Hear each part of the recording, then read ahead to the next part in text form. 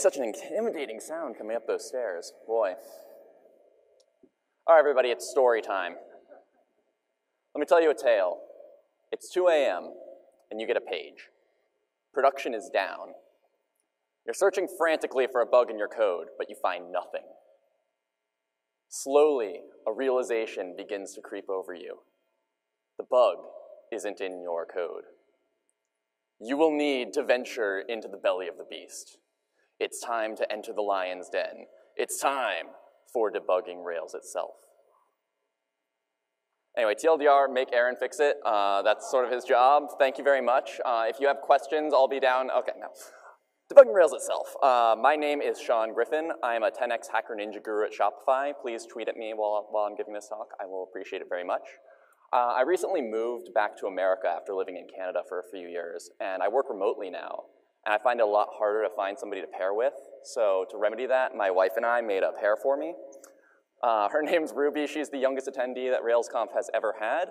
If you uh, don't like baby pictures and dad jokes, boy, you are just not in the right talk. Uh, so today, my pair and I are going to walk you through the exact process that we use when we think we have a bug in Rails. So first of all, I want you to know anybody can work on Rails. Big open source projects like Rails can seem intimidating. It's complicated, it's not terribly well factored, everything includes 15 million modules, sometimes twice. And so it can often appear to be something that the average programmer wouldn't be able to comprehend. Well, I'm here to tell you, anybody can work on Rails. I know, right? It can be surprising to hear, but it's just not as scary as you think. It's just a large legacy code base that's had far too many people touching it. Most of the techniques that we use to debug Rails are the same techniques that you would use in your application.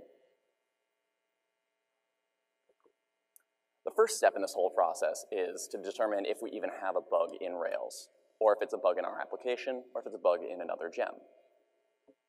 And really, we have to answer, what even is a bug?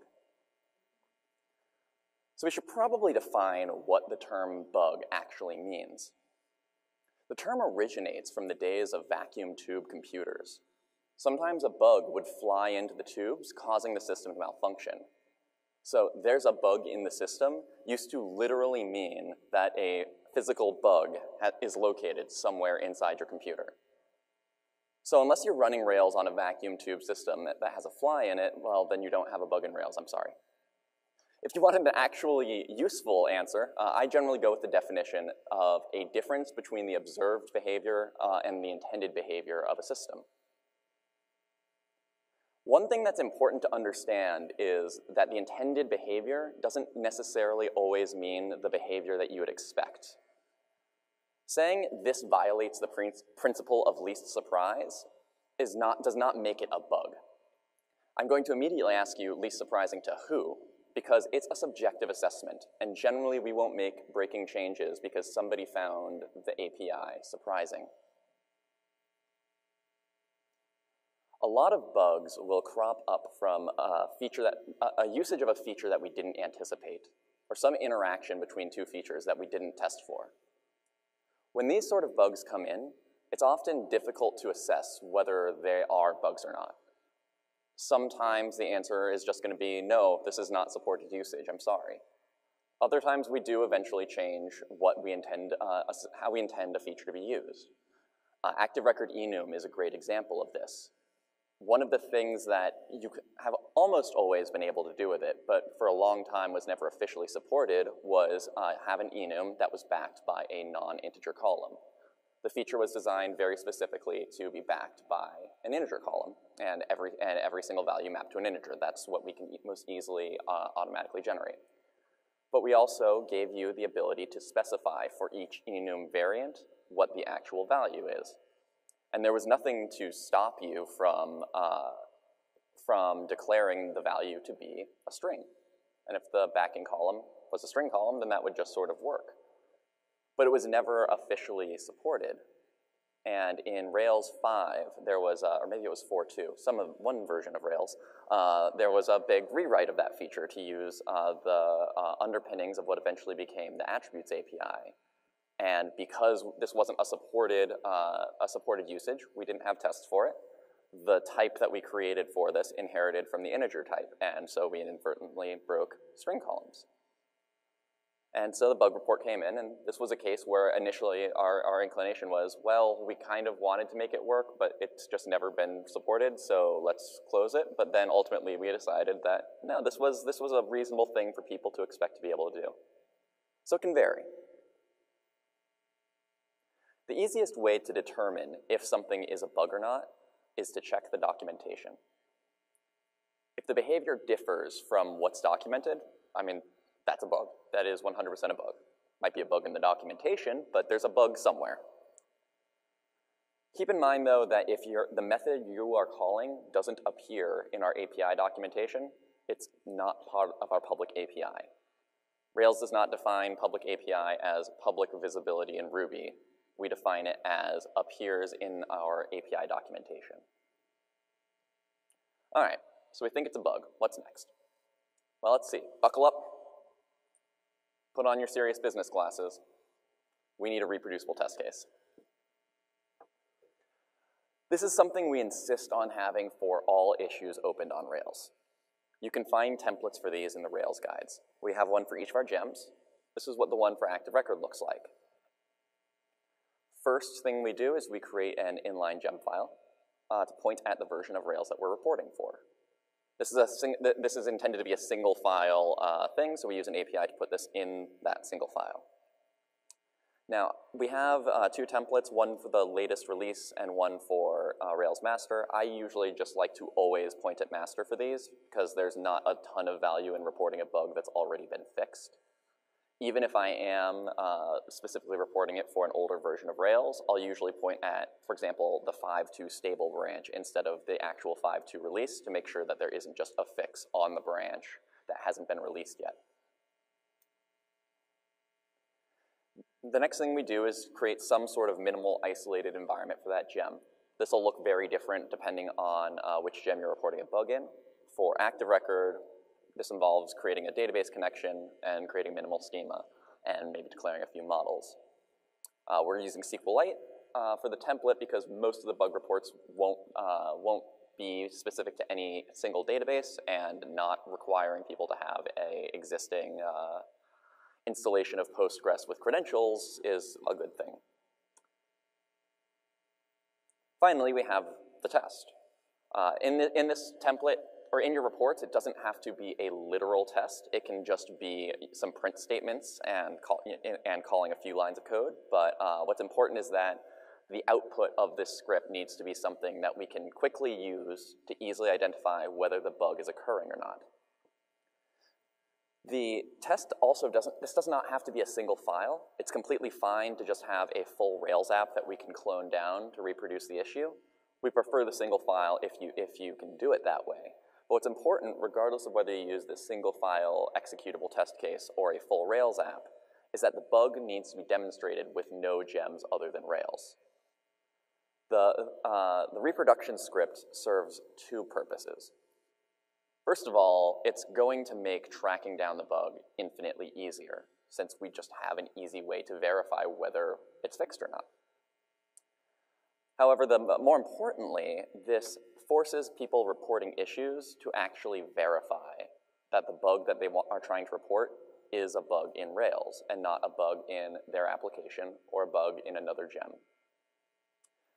We will reject the report if, it, if the gem file contains gems other than Rails or PG, SQLite, the things that you need to use to use Rails. Uh, if the test case has private APIs, that's another reason we'll reject these reports. Bugs are, are differences in behavior in public API only. You'd be surprised how many reports come in. We ask for a reproduction script, and then the issue gets closed because as they wrote the reproduction script, they realized, oh, I'm sorry, this isn't a bug in Rails. Okay, so we know we have a bug, and we know it's in Rails. What next? Before we fix it, there are two things I like to find I want to find the code that is causing the bug, the line that we're eventually going to need to change, and then I also want to find the commit that introduced the bug. So put your serious business glasses back on, because it's time to go bug hunting. We can find the commit and the problem code in either order, but if at all possible, I prefer to find the commit first. It's generally easier to do, there's, and there's a good process to find it as long as we know the code was working in some previous version of Rails. So to find the first commit that introduced the bug, we're going to use git bisect, the greatest tool that was ever gifted upon us unworthy programmers. If we uh, know a commit where the bug happens, a commit where the bug doesn't happen, and we have a test script that we can run, Bisect will tell us the commit that introduced the issue relatively quickly. If we're gonna be bisecting, the first thing we need to do is take our test script and point it at a local checkout of Rails. Rails has internal dependencies like AREL, even though now that is actually just in the main repository, but up until 5.2, AREL lived in a different repo. And oftentimes any given uh, commit of Rails will also only work with a specific commit of AREL.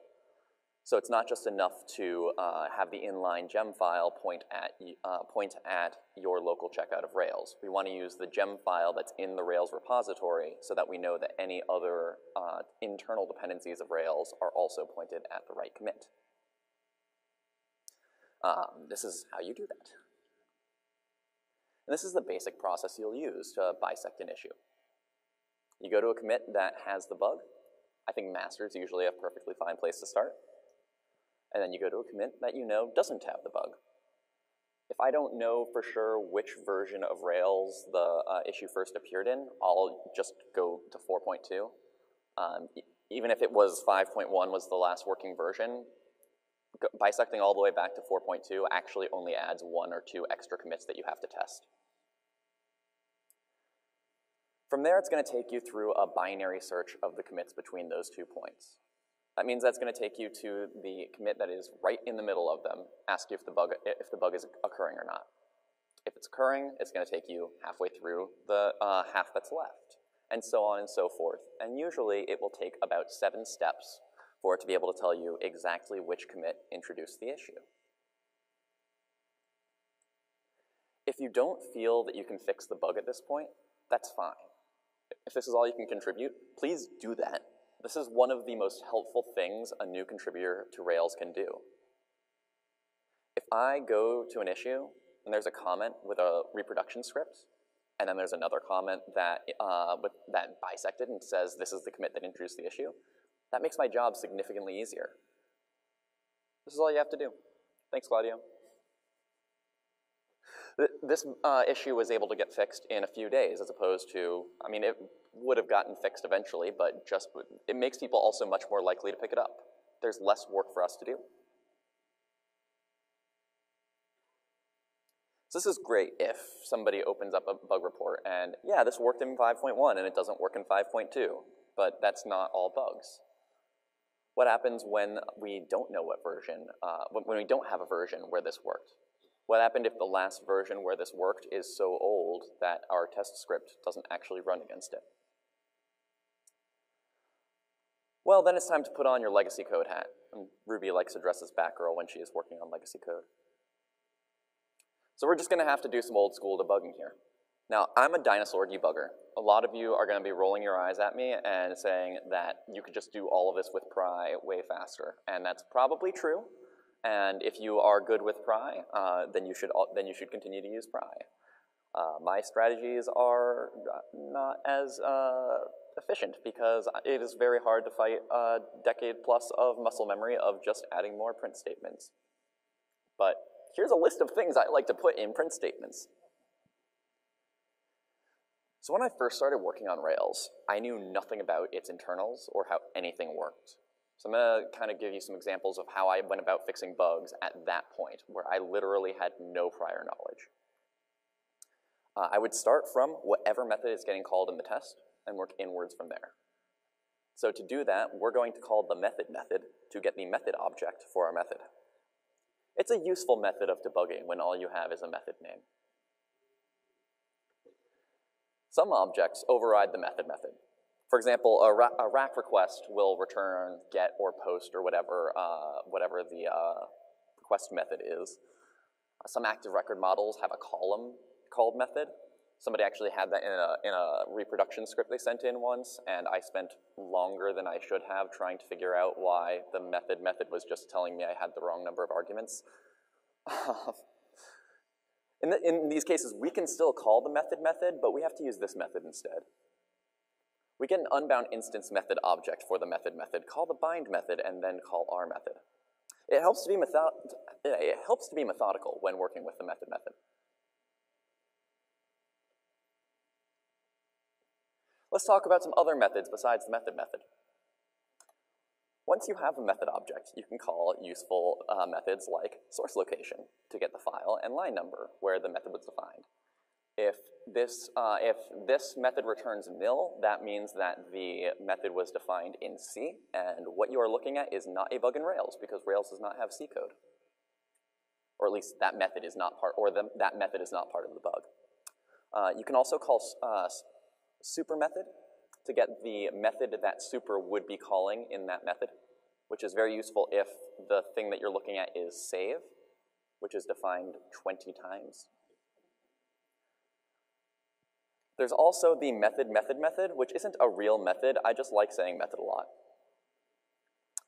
Um, now, when you're going, when you're using in this form of debugging, when you're just kind of going in from, from what you can see in your test file and you're just trying to figure out the actual code path it's going through, it's very important to tunnel vision yourself on the problem at hand. You don't have to understand how the entire system works to figure out how to fix a single bug.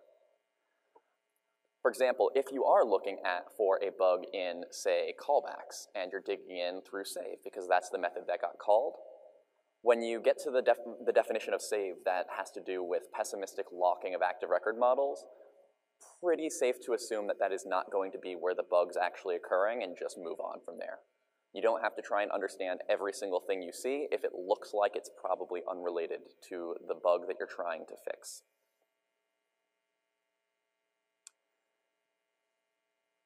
This isn't always the best place to start. If the bug is very clearly related to callbacks, for example, it's often much easier to just see what called the callback rather than starting at save. In this case, I'll often just uh, stick a puts caller in the callback, and I'll show you the file and line numbers of every caller in the stack at that point. Or if this is something that's getting called a lot and you just want to have the output of the first time it was called, you can stick a raise in there, which will also give you a call stack. Finally, the p method is one of the most useful for this, this sort of debugging. It calls inspect on its argument, prints that out, and then just returns it. And you can just sort of litter it all over your code and not have to restructure anything because it returns whatever you pass to it. Uh, one thing to keep in mind with p, though, is that inspect can have side effects. And this can sometimes cause bugs to disappear. Uh, shout out to obscure MRI bugs. I had a recent uh, issue where calling uh, strings start with was hanging forever, and calling inspect on an unrelated class somehow made that not happen. Uh, in Rails, though, most specifically, where inspect has side effects is if you call inspect on an active record model, that will show you all of, all of its attributes, and that causes typecasting to occur, and if the, if, if, we've had bugs where things were getting mutated that shouldn't have been, and the act of typecasting caused that to change. So we, once we've tracked down the problem code this way, we still want to find the commit that introduced it. To do this, we're going to use a, a tool called git blame, except we're not going to do that because this isn't about assigning blame, it's about uh, additional context. So we're going to be using git context instead. Uh, blaming people is terrible. You should not blame people. If you would like to stop blaming people, this is some code. You can stick it in your, uh, in your global git config, and you will never have to blame people again. So what git context does is show you the last commit that changed each line in the file. Now, sometimes the commit that, the, that introduced, or that last change that line will not be the commit that introduced the bug. Sometimes it will be a formatting change or it will have moved something to a new file. We try to avoid these sort of changes in, uh, in, in, Rails since we use git context so frequently. But sometimes they do appear, and so uh, in this case we have to do what's called a recontext for that commit, which is where we call git context on the parent of that commit. If you use Vim, the uh, Fugitive plugin that most people use for accessing Git from Vim has a really good, uh, has some really helpful shortcuts for this. If you hover over a commit and then you press tilde, that will recontext it on the parent. Uh, GitHub also has a really nice UI for this. I'll typically just open uh, the commit in GitHub whenever, whenever I need to do this. Um, I was gonna have a GIF there. So you might be wondering why we even care about the, the commit that introduced the bug. The answer to this comes back to the, defini the definition I used for bug earlier. It's when the observed behavior is different from the intended behavior. This means that we need to know what the intention was. Even if we, even if we are fairly certain that we, uh, that we for sure have a bug, and we don't care what they were intending in this commit, seeing the intent behind the code that broke it is still very useful for writing a fix.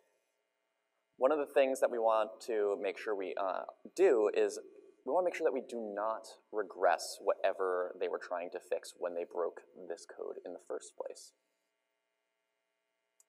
Hopefully the test suite will catch that, but uh, legacy code bases aren't always as well tested as you would like. Sometimes finding the commit is less helpful. If you're lucky, it will be a very long commit message that will talk about why they are doing it the way they are, what their intentions were, generally brain dumped anything else that was on their mind. This is why I always advocate for people writing very long commit messages. If you're less lucky, the commit will say changed stuff. If you're really unlucky, the commit will say initial.